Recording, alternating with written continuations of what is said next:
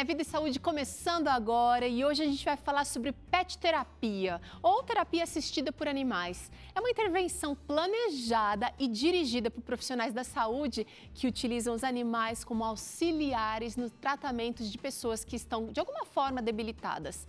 E quem vai nos ajudar a entender sobre esse assunto é o veterinário Dr. Rogério Sales e você vai acompanhar, vai aproveitar bastante esse assunto. Também o Dr. César Vasconcelos traz aqui no Claramente é, a importância de ter um animal de estimação como também um meio de produzir mais hormônios de alegria e bem-estar. E a receita que você aprende aqui ainda no programa de hoje é uma receita imbatível, todo mundo ama, é pizza. E essa daqui é toda especial, é pizza de couve-flor. Hum, levinha, maravilhosa. É Vida e Saúde está começando, fica comigo, aumenta o som, é hora de se cuidar e é hora de pensar o que você pode fazer hoje para ter mais saúde.